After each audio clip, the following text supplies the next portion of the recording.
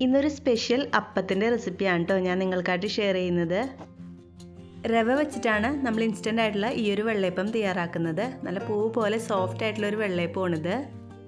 സാധാരണ നമ്മൾ വെള്ളയപ്പം തയ്യാറാക്കണമെങ്കിൽ അരി അരച്ചിട്ട് പൊങ്ങാനൊക്കെ ഇട്ട് മാറ്റി വെക്കണം. പക്ഷേ ഇതിന് അതിന്റെ ഒന്നും ആവശ്യമില്ല. പെട്ടെന്ന് തന്നെ നമുക്കിത് തയ്യാറാക്കി എടുക്കാനായിട്ട് പറ്റും.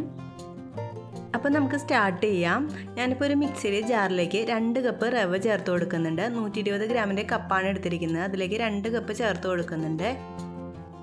ഇനി ഇതിലേക്ക് നമുക്കൊരു മൂന്ന് ടേബിൾ സ്പൂൺ മൈദ ചേർത്ത് കൊടുക്കാം. അതിനുശേഷം നമുക്കിതിലേക്ക് ഏകദേശം അര ടേബിൾ സ്പൂൺ അളവിൽ ഈസ്റ്റ് ചേർത്ത് കൊടുക്കാം. ഇൻസ്റ്റന്റ് ഈസ്റ്റ് ആയാലും കുഴപ്പമില്ല. ഇതുപോലത്തെ ഈസ്റ്റ് ആയാലും കുഴപ്പമില്ല. ഇനി ഇതിലേക്ക് നമുക്ക് ഇളം ചൂട് വെള്ളം ഒഴിച്ചു കൊടുക്കണം. വെള്ളത്തിന്റെ ചൂട് കൂടി പോരുത്. ഇളം ചൂടുള്ള വെള്ളം വേണം ഒഴിച്ചു കൊടുക്കാനായിട്ട്.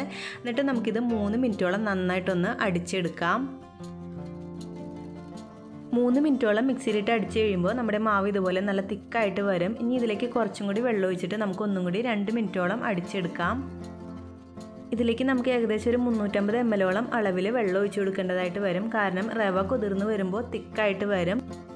ഇപ്പോൾ ടോട്ടൽ അഞ്ച് മിനിറ്റോളം മിക്സിയിലിട്ടിട്ട് അടിച്ചെടുത്തിട്ടുണ്ട്. അപ്പോൾ രണ്ട് പ്രാവശ്യമായിട്ടാണ് അടിച്ചെടുത്തിരിക്കുന്നത്. ഇപ്പോൾ നമ്മുടെ മാവ് അത്യാവശ്യം നല്ല തിക്കായിട്ട് വന്നിട്ടുണ്ട്. ഇനി ഇതിലേക്ക് നമുക്ക് ഒരു ടേബിൾ സ്പൂൺ അളവിൽ ബേക്കിംഗ് പൗഡർ ചേർത്ത് കൊടുക്കാം. ബേക്കിംഗ് പൗഡറാണ് ബേക്കിംഗ് സോഡയല്ല ബേക്കിംഗ് പൗഡർ ചേർത്തിട്ട് കുറച്ചും കൂടി വെള്ളം ഒഴിച്ചിട്ട് ഒന്നും കൂടി നമുക്ക് നന്നായിട്ടൊന്ന് അടിച്ചെടുക്കാം.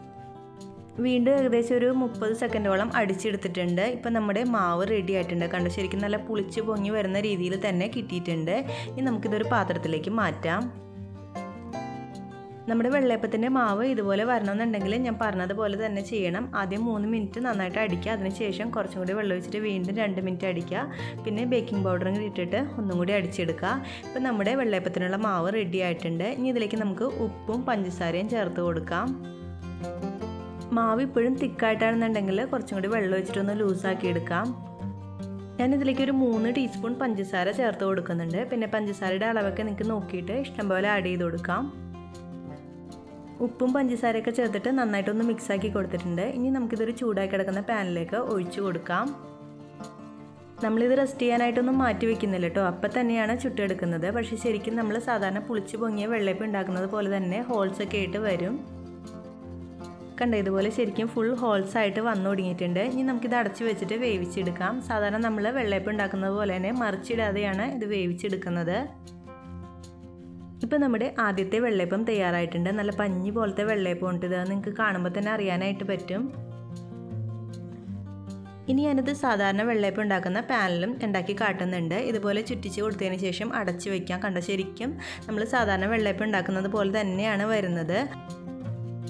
നമ്മൾ റവ ചേർത്തിട്ട് തയ്യാറാക്കുന്നതുകൊണ്ട് തന്നെ സാധാരണ വെള്ളയപ്പത്തിൽ നിന്ന് കുറച്ചൊരു കളർ മാത്രം വ്യത്യാസമേ ഉള്ളൂ.